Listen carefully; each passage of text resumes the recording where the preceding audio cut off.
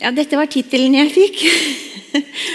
eh, og da har jeg jo valgt å snakke om det som står her. Impress og Impred og Nortrials og Connect. Eh, og så er det jo masse spennende forskning som skjer eh, i Kreft-Norge utenom dette også. Jeg kom på det når forrige samtale var, der det var jo sant, Det er forskning på trening, det er forskning på ja, Det er masse forskjellig forskning. Livskvalitetsforskning. Eh, der det er hovedfokus. Så nå er det et utvalg av noe av det som skjer, som jeg skal snakke om. Eh, og ja, veldig hyggelig å være her igjen. Min viktigste interessekonflikt er jo at jeg er lungekreftonkolog og har jobba med det eh, i mange år. Eh, jeg har holdt foredrag og gitt råd og deltatt i møter med industri. Den skulle vært med i. Og så eventuelle honorar går til sykehuset og ikke til meg. Så siden vi skal snakke om kliniske studier, hva er egentlig kliniske studier? Eh, det er en systematisk måte å forbedre behandlingen eller utredningen eller oppfølgingen av pasienter. Eh, det er underlagt strenge regler. Eh, og det er jo for å beskytte deltakere, både friske og syke. Det kan være friske kontroller. Eller, så det er jo for å beskytte de som er med. Og også for å gi sikre resultater. At når man legger ned arbeid i forskning, så må man passe på at resultatene blir gode. Og så er det jo for å ha kontroll på den aktiviteten som skjer. F.eks. når man skal teste et nytt legemiddel, så må man jo sikre bevis på at det virker eller ikke virker. Og man må registrere og rapportere eventuelle bivirkninger. Eh, så det er underlagt strenge regler og eh, systemer for å passe på. Og Resultatene av sånne studier eh, det er jo bakgrunnen for hvorfor noen legemidler blir godkjent til bruk, og noen ikke blir det. Så det er viktig. Eh, I tillegg til å framskaffe eh, kunnskap, som jo er hoved, eh, et hovedmål med kliniske studier, så er det mange pasienter som har nytte av behandlingen eh, før medikamentet er godkjent. Det er klart, det er mange som ikke har nytte av behandlingen også. fordi man, Det er jo derfor man gjør studier, for å undersøke om, om den nye medisinen f.eks. hjelper eller ikke. Så det er jo ikke slik at man på forhånd alltid vet om det er nyttig. Eh, det kommer an på studien. Men alle pasientene blir passa godt på. Eh, de får tett oppfølging. Eh, og Det er jo en fordel som, som, alle pasientene som blir inkludert, kan dra nytte av. I tillegg er det gjort studier på eh, sykehus som deltar i klinisk forskning, og så sammenligner det med sykehus som ikke deltar i klinisk forskning, som er omtrent like store og gjør det samme. Og det man ser er at De sykehusene som er aktive i forskning, de gir bedre behandling. Det er bedre resultater for alle pasientene, også for de som ikke er med i studier. Sånn at det er mange positive effekter av å drive klinisk forskning. Eh, og dette vet jo myndighetene. Eh, I fjor kom de med en nasjonal handlingsplan for kliniske studier. Og her står det at eh, flere Det er jo masse tekst, vi gidder ikke å lese alt det der, men det står jo at de skal gjøres tilgjengelige for alle pasienter i hele landet. Det er jo viktig i Norge at det skal være samme tilbud til alle pasienter. Eh, og de ser, sier at studier skal eh, gjøres tilgjengelige for pasienter. Eh, eh og så at det skal eh, kliniske studier skal være en del av det sykehusleger skal holde på med. Det er ikke sånn at det, er noe som noen få leger skal gjøre i helga eller etter arbeidstid. Det er noe som man skal holde på med på sykehus i Norge. Eh, og så sier de at eh, ledere i sykehus skal legge til rette for å utvide det handlingsrommet eh, for å drive med kliniske studier i Norge. Og Alt dette er kjempeviktig. Det er kjempebra at myndighetene kommer med disse retningslinjene i handlingsplanen. For det gir en klar og tydelig beskjed om at dette er noe vi skal gjøre. Og næringslivet er også viktige. Det er jo mange av de studiene som kommer med nye medisiner, som kommer fra, firma, eh, farmasøytisk industri, eh, de må vi snakke med og samarbeide med for å få til dette. Så hva kreves for en økning i kliniske studier? Vi må gjøre noe med kulturen. I Norge er det egentlig veldig god kultur. De fleste ser at det er nyttig med kliniske studier, ikke minst pasientorganisasjonene, sånn som Kari sier f.eks. Sånn, dette er et viktig tilbud til norske pasienter. Eh, så kreves det jo, nå når vi har eh, presisjonsmedisin og mange nye medisiner, så kreves det at vi gjør de analysene. Vi gjør molekylær diagnostikk. Vi tester for mutasjoner som kan være tilgjengelige. Sånn, vi undersøker kreftcellene om det er en EGFR-mutasjon eller en ALK-forandring, som da vil gjøre at uh, nye medisiner kan prøves. Det krever at vi snakker med og samarbeider med industrien. Det er ikke så veldig lenge siden det var eh, uglesett. Eh, de, de, var liksom bare opptatt av å tjene penger, og vi eh, ville ikke snakke med de. Så, så, det er kjempeviktig og en god endring at det har blitt et bedre samarbeidsklima så krever det gode støttefunksjoner. Vi må ha noen koordinatorer, vi må ha studiesykepleiere som hjelper oss. Og så krever det pasientinvolvering. faktisk. Det er en viktig del av det hele. Eh, og som ledd i denne, dette ønsket fra myndighetene om økning av kliniske studier til norske pasienter, så har de etablert Nortrials. Eh, det er etablert seks eh, sånne sentra i Norge på ulike eh, diagnoser. Eh, og en av disse seks er på kreftsykdommer, Nordstreils kreft, som ledes av eh, oss på Oslo universitetssykehus. Så er det en for autoimmune sykdommer, en for eh, hjerne, en for hjerte, en for teknisk utstyr og en for fordøyelsessykdommer. Så dette skal dekke store deler, eller mesteparten av norsk medisin og norske pasienter. Og Det samme ønsket er i alle gruppene, at vi ønsker flere kliniske studier. Så dette står i handlingsplanen. Det er gitt 30 millioner. Nordtrail-sentrene får 2 millioner per senter i fem år. Det er ikke noe revolusjonerende masse penger hvis man skal ansette noen, og sånn, men, men, det er viktig, det er ikke minst et viktig signal. Så hos oss så er vi godt i gang fra før. på en måte. Vi har, eh, vi har godt samarbeid med egentlig alle sykehus med kreftavdeling i Norge. Vi har god, godt samarbeid med både eh, de firmaene som lager legemidler, og de firmaene som jobber innen diagnostikk. Eh, og vi har mye erfaring og kunnskap om kliniske studier. Så det var det jeg hadde tenkt å si om Nortrials. Og hvis noen har spørsmål underveis, så er jeg veldig glad for avbrytelser. Eh, bare sånn at det er sagt. Men dere må kanskje rope, for jeg ser, når jeg tar av meg brillene, så ser jeg ikke så godt. Men eh, ja. Ja, det òg. Ja. Men i hvert fall. Så skal jeg gå over til hvordan vi har jobba nasjonalt siden ja, 2019-2020 innen presisjonsmedisin og det å få opp dette nettverket innen klinisk forskning i Norge. Eh, I 2019 så så vi at det kom masse nye medisiner. Vi fikk mange nye medisiner for ALK, vi fikk eh, eh, nye medisiner for bitte små undergrupper av pasienter med kreft som hadde en genforandring, en mutasjon, i kreftcellene sine. Og det kunne kanskje være ti i Norge.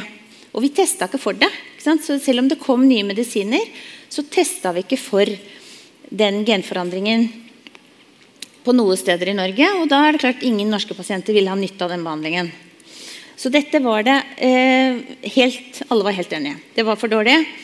Eh, det gikk for tregt. Vi måtte ha bedre verktøy. Det koster penger. Medisinene var dyre, og diagnostikken var dyre. Eh, så eh, for å få prisen litt ned, så må vi ha biomarkører. Og for å kunne bruke medisinene fornuftig, så må vi ha mulighet til å sjekke kreftcellene for om, om de hadde de egenskapene. Så hva er egentlig vitsen med alt dette? Hva er, det, hva er det jeg snakker om? egentlig? Jeg snakker om presisjonsmedisin eller persontilpasset medisin. Um, og det her, sånn var det før. Det er ikke så lenge siden, føler jeg. fordi da jeg begynte, begynte innen kreftbehandling, så fikk alle pasienter med ikke småcellig lungekreft samme type behandling. Noen hadde nytte av det, og noen hadde ikke.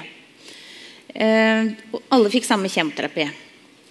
Og så nå, i, i, tida som har gått etter det, så vet vi at eh, hvis vi tenker at de blå er de med EGFR-mutasjon, de bør få en helt spesiell type medisin. Og vente med cellegiften. Hvis de gule kan være ALK-pasientene, de må få en annen type medisin. Og så kan de få cellegift og immunterapi etterpå. Så vi skjønner mer og mer av det, men det er fortsatt masse vi ikke vet. Skal vi se. Så dette er bare for å eh, Oi sann. Dette er Akilles. Tesis dyppet sønnen sin Akilles i elven mens hun holdt ham fast i hæren. Det, det, var da det eneste stedet hvor vannet ikke renset ham, og det var hans bane etterpå. Og Det kan man si om kreftcellene òg. Vi trenger å vite mest mulig om disse kreftcellene for å kunne ta dem. Um, vi trenger å vite hva som er akilleshælen til kreftcellene. Og det kan forandre seg. Hvis man har en pasient med en genforandring, eh, så kan man starte behandling, og så kanskje ha nytte av det i et år eller to. Og så lærer kreftcellene seg, de forandrer seg, de lærer seg å kjempe imot medisinen. Ehm, og da må vi ta en ny prøve og skjønne mer av hvorfor medisinen ikke virker lenger. Ehm, så det er det det handler om. Og det er klart Vi har jo holdt på med litt denne tankegangen lenge, men nå har vi verktøy til å eh, skjønne mye mer og til å gjøre analyser på alle pasientene. Så i dag så er det bedre og billigere metoder for analyser. Vi har masse nye biomarkører eller markører. Eh, og det kommer også veldig mye nye medisiner, heldigvis. Og dette, har, dette skal vi ikke snakke så veldig mye om, men, men det vi kan se, er at um, uh, dette er mange forskjellige kreftformer, og så er det antall forskjellige mutasjoner i de ulike kreftformene. Så barnekreft de er helt til venstre der. De har få mutasjoner, få genforandringer. Mens lungekreft er helt på den andre siden, på høyre sida. Eh, de har masse mutasjoner. Der er det veldig mye genforandringer. Så det er om å gjøre å forstå mest mulig av de genforandringene, sånn at vi kan behandle mest mulig, eller best mulig. da. Og dette er, eh, dette er eh, noe som dette slidet har jeg fått av min, hun som veileda meg da jeg begynte i forskning som heter Annelise Børresen Dale. Hun var genetiker. Så hun sa at det er jo sånn som dette. At en liten forandring har mye å si for meningen. sånn at hvis det er en liten forandring i, i DNA-et, så kan det føre til kreft. Skyt ham, ikke vent til jeg kommer. Eller skyt ham ikke, vent til jeg kommer. Kjempeviktig forskjell, en bitte liten forandring. Så eh, Slike initiativ har det vært i flere europeiske land. og Noen av disse undergruppene av pasienter er bitte små. Så vi trenger å samarbeide med de andre europeiske landene for å få mest mulig kunnskap om disse tingene. Og et sånt samarbeid er på plass. Vi samarbeider med DRUP-studien, som er i Nederland. Og det er tilsvarende studier i alle de nordiske landene. Så vi har et godt samarbeid med dem, eh, og vi har tenkt å fortsette å samarbeide og dele data med dem, sånn at vi lærer mest mulig om selv de sjeldneste typene. Ehm, sånn at Siden, siden 2019-2020 så har vi jobba for å både få på plass diagnostikk og lage denne store nasjonale studien som heter Impress Norway. Det har jo da vært bottom up ved at fagmiljøet og pasientforeningene har vært veldig for å snakke om behovet for dette. Myndighetene har også ønska det, for de trenger et tilbud, men de trenger at vi snakker med én stemme. De trenger at dette var nasjonalt og tilgjengelig for alle pasientene. Internasjonalt vi trenger samarbeid for å skjønne mest mulig.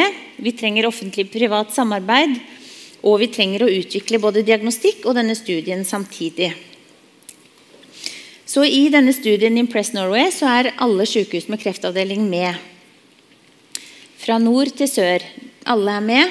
Pasientene kan inkluderes der de bor, eh, og få behandling hvis de skal ha behandling eh, på det sykehuset som de hører til. Eh, så har jeg noen slide om studien som sådan. og Det er klart det er jo for spesielt interesserte. Men vi begynner jo selvfølgelig med Vi har mange medisiner. Så har vi mange Alle, alle kreftpasienter kan være med. Eh, og så vi, eh, kan vi basere behandlingen på de genforandringene som er. Sånn at hvis vi finner en EGFR-mutasjon, som er en lunge, typisk lungeforandring Hvis vi finner den i en pasient som har øre-nese-hals-kreft, så kan vi behandle den øre-nese-hals-kreftpasienten med lungemedisinen. Det kan vi ikke ellers. Det er ikke lov. Vi har ikke lov til å bruke medisiner utenfor akkurat den godkjenningen som den medisinen har. Sånn det er mange brystkreftmedisiner som kan hjelpe lungekreftpasienter med samme genforandring, men det har vi ikke lov til. Men i studien kan vi gjøre det. Så det er hele tanken. Um, ja.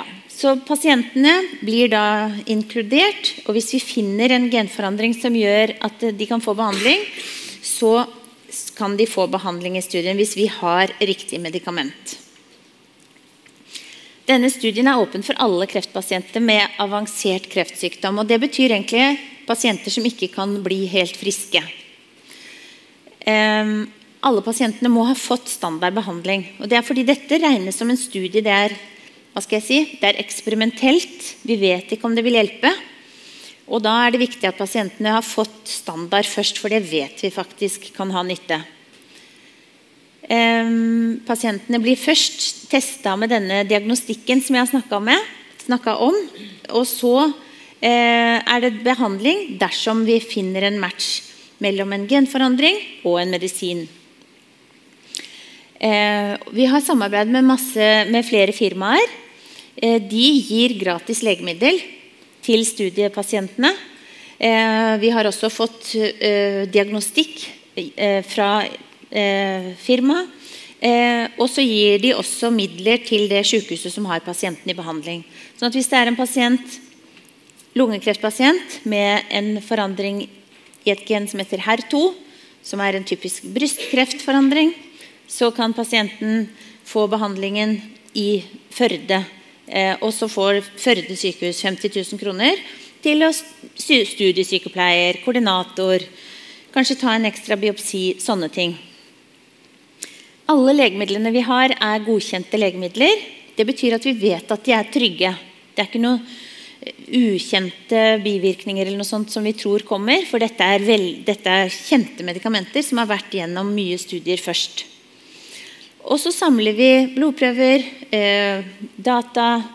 Eh, vi sender livskvalitetsskjema, sånn at vi skal lære mest mulig av studien og av pasientene. Eh, dette trenger vi heller ikke å snakke så mye om, men det er jo for å vise at pasientene signerer først på screening. og Så er det masse analyse, og så diskuteres de i et nasjonalt møte. Og der er legene overalt med. Hvis pasienten hører til i Bodø, så er legen i Bodø med. Det betyr at vi tenker at legene overalt vil få mer kunnskap. Kompetansen heves. De kommer til å skjønne mer av alt sammen etter hvert. Og Så er det da konklusjonen som diskuteres, og som pasientens lege vil snakke med pasienten om. Så pasienten slipper å reise noe sted. Dette har jeg vel eh, sagt. Det er altså godkjente og kjente medisiner. Så det trenger ikke å være slik at, at jeg som lungekreftlege kjenner alle medisinene. Men mine kollegaer i de andre tumorgruppene, noen kjenner dem fordi de er godkjente og i bruk på, i noen kreftformer. Det er et godt samarbeid med industri. Eh, gjennom denne studien så får helsevesenet erfaring med presisjonsmedisin gjennom disse eh, ukentlige nasjonale møtene, så hever vi kunnskapsnivået hos alle. Vi lærer alle masse av det. Ehm, pasientene får tilgang, noen av de, til medisin som kan, kan, kan ha nytte. Eh, og legemiddelindustrien får eh, data på bruk av sitt legemiddel Eh, utenfor den godkjenningen som det legemiddelet har. Eh, så gjøres eh, data tilgjengelig for forskningsmiljøer i Norge. Så vi håper at det skal bli masse forskning ut av det. Så hvis noen forskere, forskere i Trondheim har lyst til å forske på et eller annet, så kan de søke om å få tilgang. Og så håper vi å få enda mer aktivitet rundt dette. Så dette er tall tatt ut 12.10, så nå er rundt 600 pasienter inkludert. Eh, litt færre er ferdig analysert og diskutert. Og av alle de pasientene så er det ca. en fjerdedel som, som har fått eh, mulighet for behandling i Impress Norway. Eh, 2 har fått, eh, blitt henvist til andre kliniske studier. Og 10% har fått mulighet til å få annen behandling gjennom noe som heter Early Access-program. Som betyr at de får legemiddel av firma direkte eh, før det er helt ferdig godkjent. Og resten, som er to tredjedeler, de går tilbake til standard oppfølging og behandling. Så dere ser at de fleste har vi ikke mulighet til å tilby mer behandling. Men en tredjedel har, eh, får sjansen til ny behandling. Ehm, og de fleste pasientene som har vært igjennom det, selv de helt til høyre som ikke får behandling i studien, de syns det er verdifullt at man har prøvd, at man har snudd hver sten. Ja.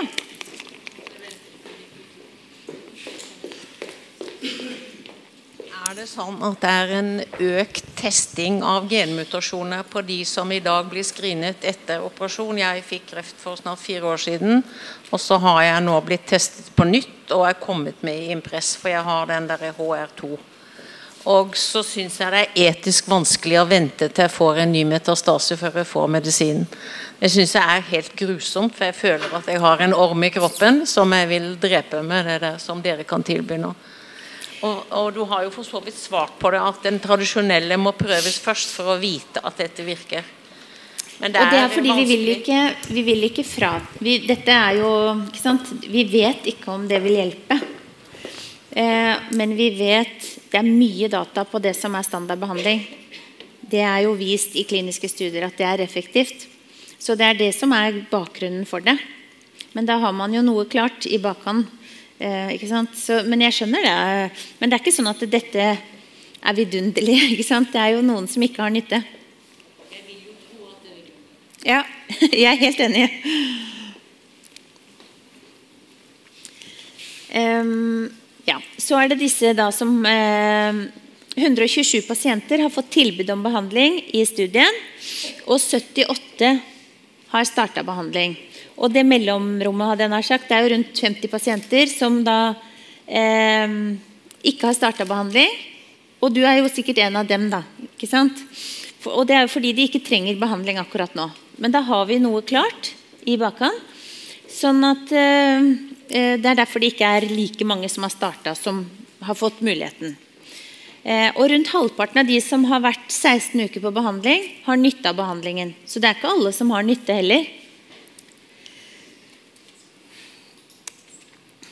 Dette, denne typen eh, plott heter eh, swimmers plot.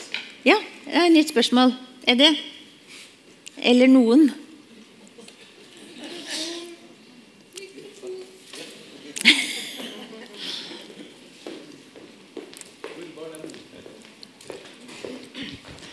Jeg fikk også diagnostisert en lungekreftspolcellekarsinom. lungekreft, spolcellekarsynom for i, i februar. Ingen symptomer, bare fikk et jordskjelv i huet. Men, og jeg ble eh, kjørt direkte på monoterapi, på immunterapi, som har hatt for så vidt god virkning. Mm. Men jeg har en MET-mutasjon. Og jeg vet, jeg har snakket med deg en gang før, ja. men det er visst ikke godkjent. Men jeg er ikke kommet inn i noen av disse studiene. Nei, og, men du står fortsatt på standardbehandling? Ja, ja. jeg gjør det. Ja. Og har nytte av den? Mm. Ja. Men, men, vi får inn uh, medisiner for MET uh, nå. Så da kan det være i bakhånd. Men det er mye mer det vi kaller, det er mye mer bevis for at det du står på nå, hjelper deg, enn for det vi har å tilby. Det er liksom Ja. Ja. Mm. ja. Ja. Ja, dette heter et uh, swimmers plot på godt norsk. Og hver sånn strek er en pasient, og, og, under her er ukene som pasienten ettersom tida går. Og den øverste pasienten, den som er grønn, den pasienten hadde eh, svulst på hjernen. Og det er en alvorlig diagnose med dårlig prognose. Og det var en ung fyr med små barn og sånn. Så, men så fant vi da en, en mutasjon i et gen. Og eh, der, ved første gang han tok MR av hodet etterpå, så var alt borte. Så han har hatt kjempegod nytte helt over et år nå. Så det er jo selvfølgelig veldig hyggelig. Og så er det veldig mange som har fått det vi kaller stabil sykdom.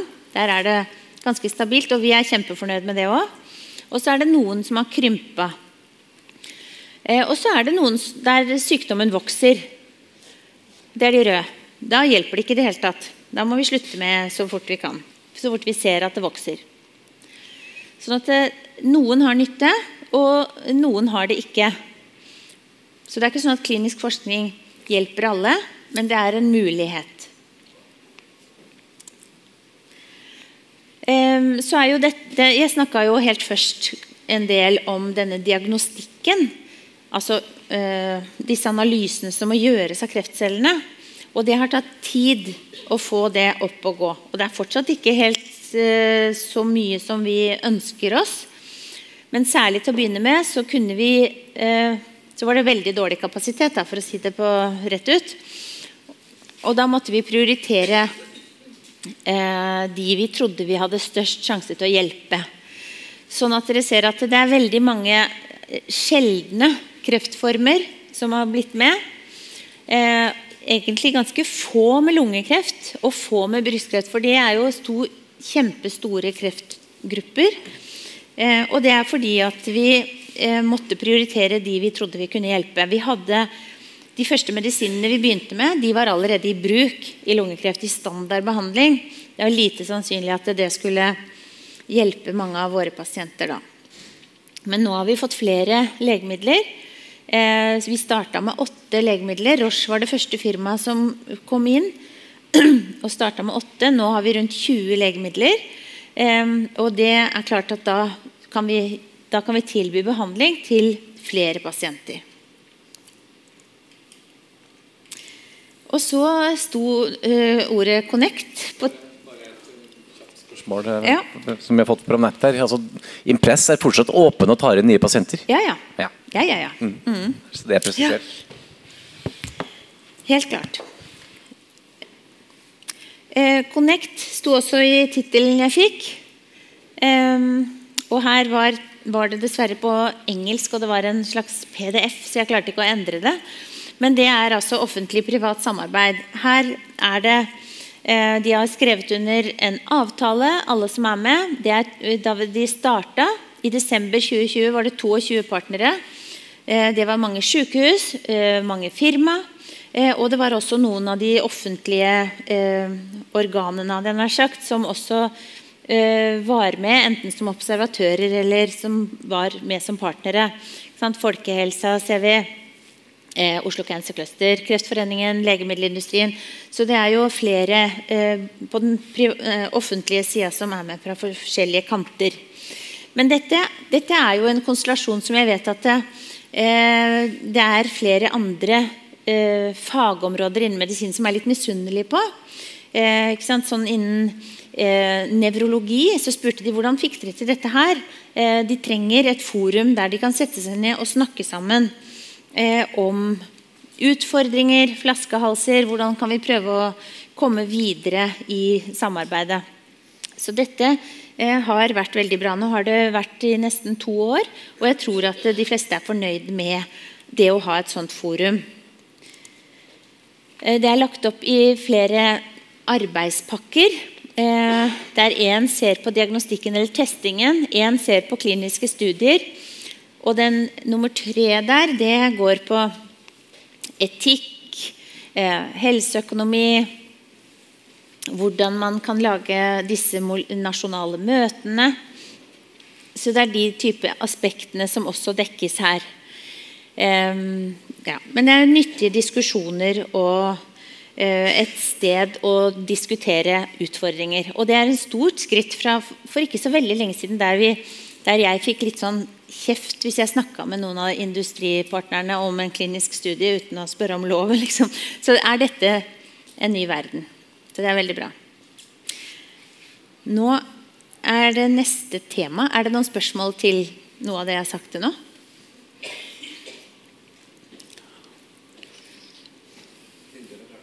Ja, ellers er de er de slått til jorden eller noe. um, men nå var vi veldig heldige innen kreft som fikk et, eh, noe som heter Forskningssenter for klinisk behandling. Eh, og da fikk vi 128 eh, millioner av Forskningsrådet og Kreftforeningen. De spleisa. Og det blir tre sånne bevilgninger nå, nå ved denne tildelingen.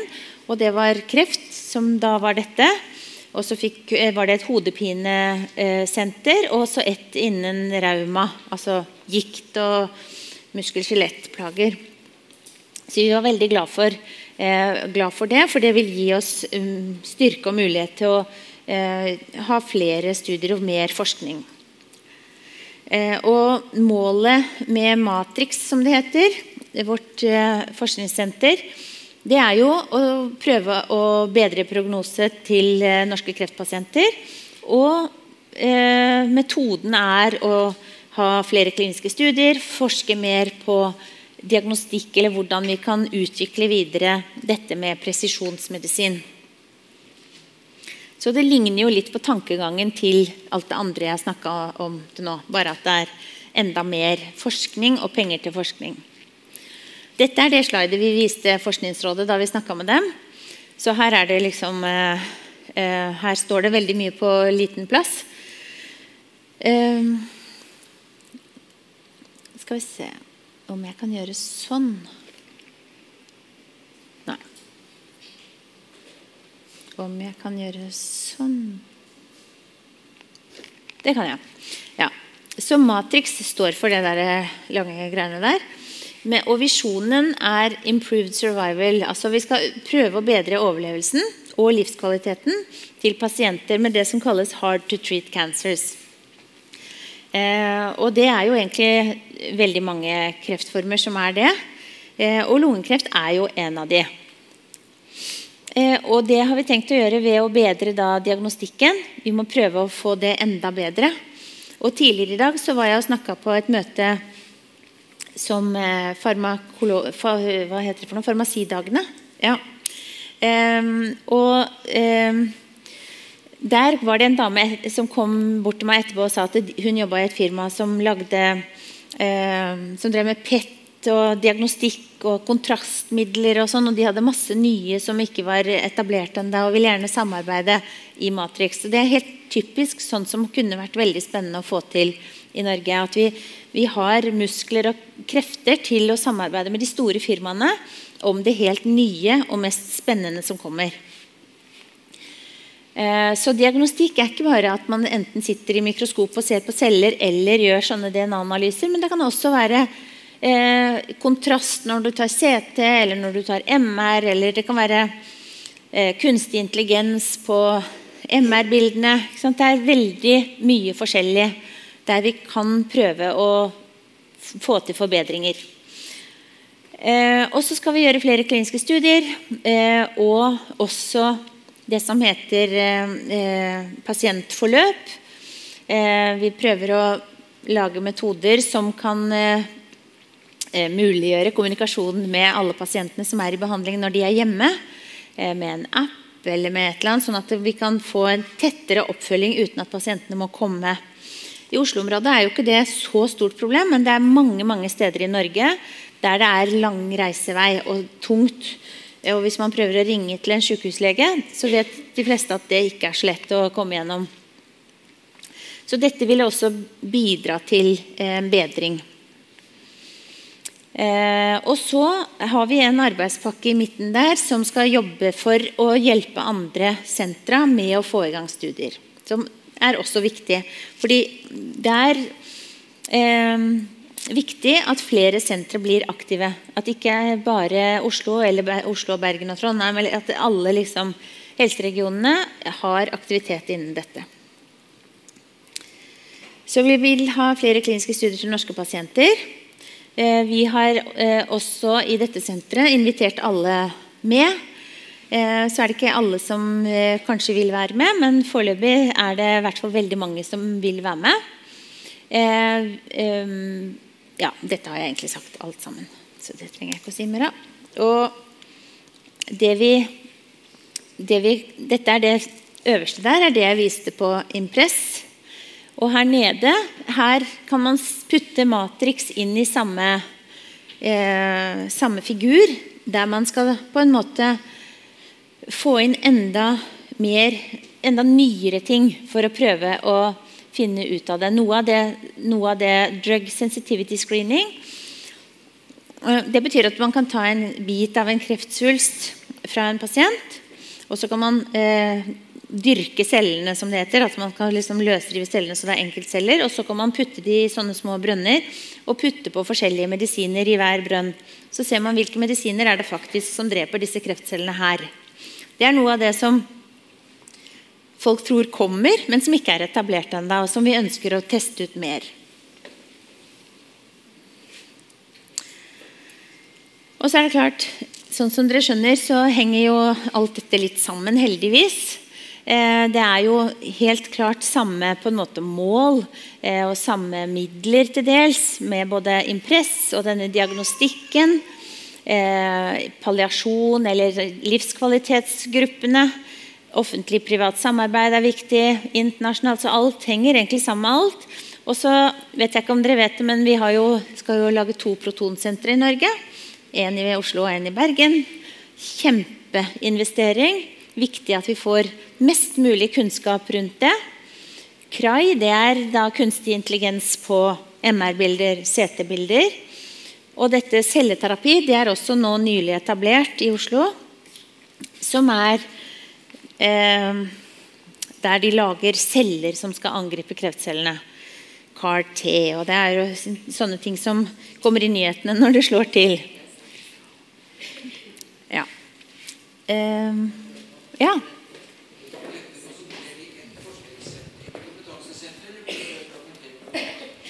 Hva sa du? Det er Ja, det, eh, det er et forskningssenter for klinisk behandling.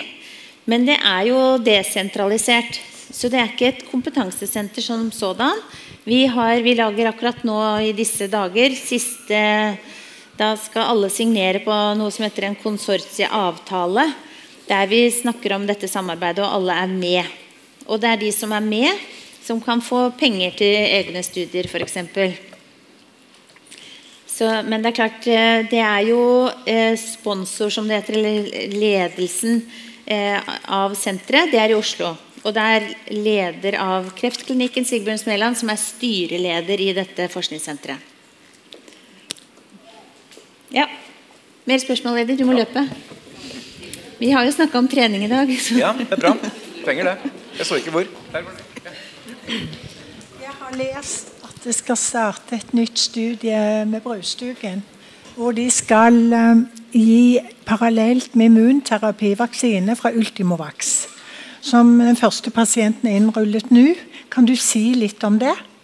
Ja, Eh, det er en studie som eh, det er, det er en studie for pasienter som ikke har fått behandling. Nydiagnostiserte pasienter som skal ha bare immunterapi, sånn som du fortalte. Eh, og så kombinerer de da med denne vaksinen mot Ultimovax. Det er jo mye snakk om å få mer ut av immunterapi. For immunterapi har jo virkelig vært kjempeverdifullt for noen pasienter men ikke for alle. Så nå prøver man å kombinere sånn at, eh, sånn at man kanskje kan få øke den andelen som har nytte av det. Flere skal ha nytte av det, og helst så lenge som mulig. Ja. Bare nye. Mm. Ja.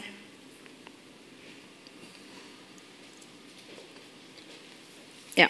Så har jeg noen slide, flere slide på, på dette Matrix. Um,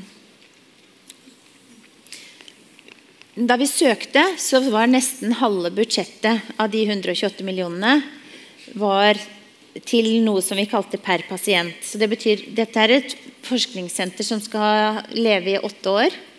Eh, og eh, vi vet jo ikke i dag hvordan studiene vil være om sju år. fordi dette er jo i stor utvikling.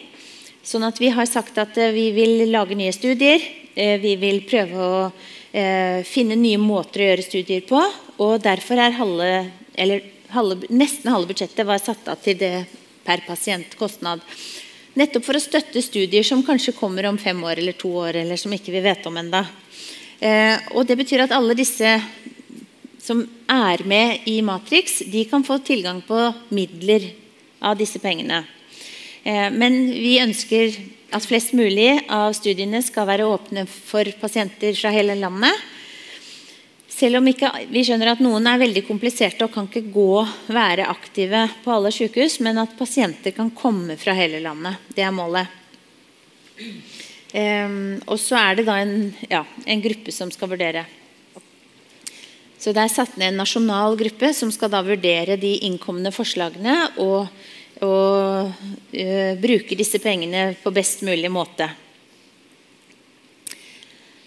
Så eh, En arbeidspakke ser på diagnostikken, sånn som jeg snakka om i sted. Eh, det kan være eh, dyp sekvensering, det kan være blodprøvesekvensering, det kan være andre typer eh, diagnostikk. Eh, vi vil bruke disse CT, MR, PET på en annen måte, kanskje kunstig intelligens. Eh, sånn at vi kan prøve å bli enda flinkere til å kunne forutsi hvilke pasienter som har nytte av hva. Hvis du tenker deg at halvparten av pasientene har super nytte av immunterapi Hvis vi hadde visst det på forhånd, så kunne vi brukt både eh, tiden til pasienten og eh, pengene bedre enn vi gjør i dag. Så vi trenger eh, metoder til å finne ut hvilke pasienter vil ha nytte av hvilken behandling. Og det skal vi prøve å finne her. da.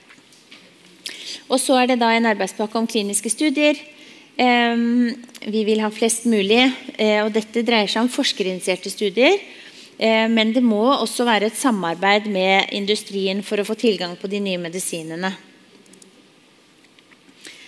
Så er det pasientsentrert behandling eller omsorg. Da skal man ha kliniske studier der man fokuserer på smerte eller vekttap eh, eller kakeksi og Det er en egen arbeidspakke som skal se på det. Pluss å lage disse standardiserte pasientforløpene som jeg nevnte. Og Da er det jo livskvalitetsskjema og pasientrapporterte endepunkt som er viktig. Og så er det den som vi på norsk har kalt trial engine, der, som skal liksom hjelpe de andre sykehusene på å komme i gang opp og stå. Um, og Det har vært mye snakk om noe som heter desentraliserte kliniske studier. At kanskje pasientene kan ta blodprøver i Hemsedal. De trenger ikke å komme til Oslo for å ta blodprøver. De kan ta, gjøre mest mulig der de bor. Eh, og dataene samles etterpå. Men det er eh, eh, Vi er ikke helt klare for det enda, og det har med disse reglene og regulator, disse tingene som, som, gjør at vi må ha sikkerheten til pasientene veldig høyt opp på agendaen. selvfølgelig. Og så var det det med å implementere dette i helsevesenet, som er en egen arbeidspakke her. Så prøver vi å bidra til eh, undervisning og opplæring innen eh, klinisk forskning. Eh, vi jobber for å få til et masterkurs, dvs. Si at det er en slags videreutdanning for sykepleiere f.eks. Som da kan, er i samarbeid med Oslo OsloMet eller Storbyuniversitetet. Så har vi et samarbeid med Universitetet i Oslo eh, som går på helseinnovasjon. Alle disse kurstilbudene må jo samordnes med alt det som fins fra før.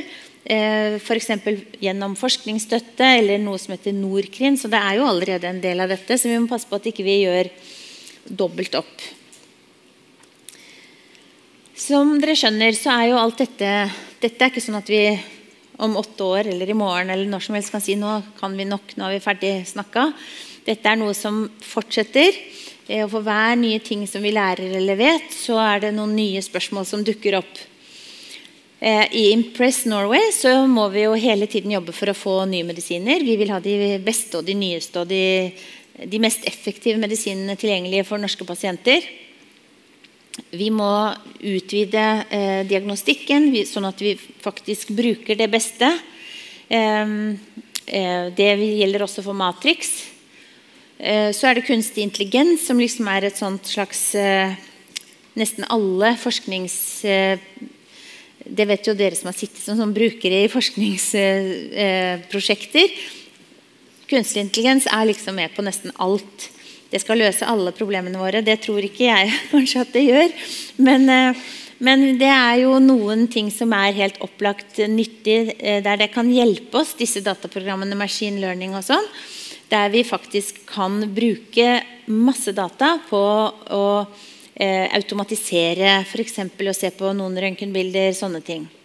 Vi trenger å komme inn i tidligere i behandlingslinjene. For selv om det er mye bevis for de første linjene, sånn som vi var inne på her, så kan det hende at noen av disse nye medisinene faktisk er bedre. Og da må vi teste det. Men da må vi, det er et skritt om gangen her. Så må vi fortsette å jobbe både internasjonalt og nasjonalt, sånn at vi samarbeider og får både lære av de andre og også lære bort det vi kan og vi må jobbe også for utvikling av de metodene vi har i Norge, som godkjenner eller vurderer nye behandlinger. Fordi det, det er jo noe mange av oss syns tar altfor lang tid, og at det kan være vanskelig å forholde seg til at, du, at det kreves store studier på medisiner som brukes på veldig få pasienter. Eh, for det kommer man vel aldri til å få. Så det er noen sånne ting vi må fortsette å jobbe med. Det var siste slide.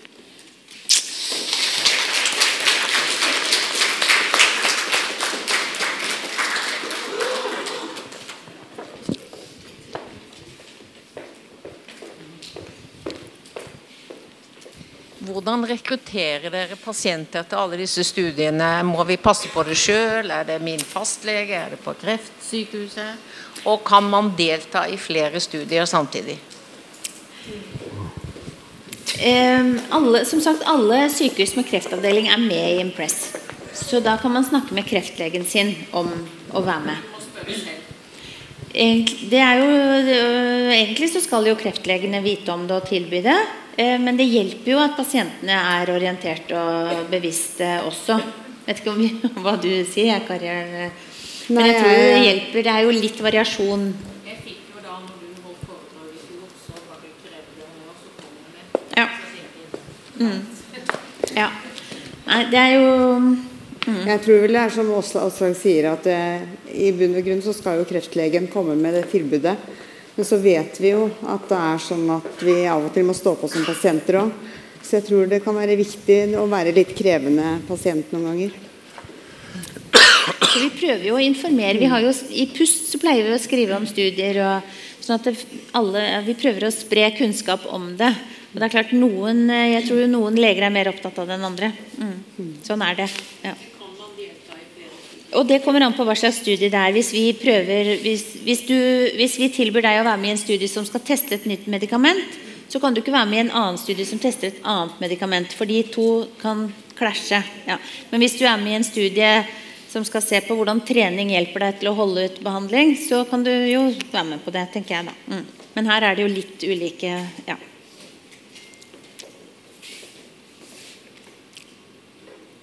Da tror jeg at vi sier tusen takk til Åslaug. Jeg har bare lyst til å si tusen takk både til Åslaug og til Vilde. Eh, jeg har jo jobbet litt med dette, eller jobbet med mye av dette her i alle år. Og jeg vil bare si at jeg tror vi skal være veldig stolte, for vi har de lungekreftlegene vi har. Eh, de, er, de samarbeider veldig, veldig godt nasjonalt eh, og er der for hverandre. Og når det gjelder de studiene som Åslaug fortalt om nå, så vet jeg at eh, det, et av de få høyst rangerte tidsskriftene i verden har faktisk spurt om dere kunne skrive om det dere har gjort der, fordi det er i verdensklasse. Så det vil jeg bare applaudere.